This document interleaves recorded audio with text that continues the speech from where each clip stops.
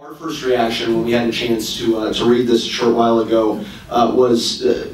pretty excited by the findings. And, and, and I can tell you specifically the reason why is earlier this year uh, we polled our member companies at the chamber. And we, we are a trade association of about 1,500 members throughout San Jose and Silicon Valley. And we asked them their biggest workforce development needs as they saw them going forward over the next few years. And it was interesting to see how those results really matched up with the, with the broader findings of, of the report that Doug just presented. Uh, literally one in two of our member companies responded to that question and said their biggest perceived skills gap going forward uh, was in lack of proper licensure and certification for jobs surrounding middle skills areas. So when we looked at this report finding and saw that in the time and effort that we spend on, on workforce development inside the chamber, uh, that is something that we're particularly focused on. And so when we look at some of the policy recommendations uh, particularly how to incorporate some of the training received elsewhere uh, to here as you look at ways in which to, to really put more emphasis perhaps on the associate's degree level, making that more nimble, uh, as opposed to maybe what's become an, an, hourglass employment model where a lot of efforts going to the top and the bottom of that